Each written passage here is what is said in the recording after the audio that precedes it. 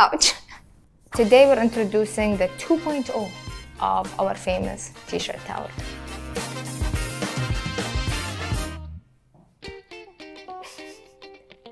A lot of you have been asking me how do you wrap it around your head? Well, it's easy. Let me show you how. So pretty much you need to tuck your hair in it. One twist, two twists.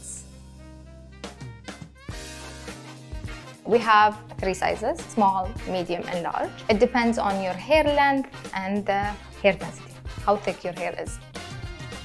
We're done.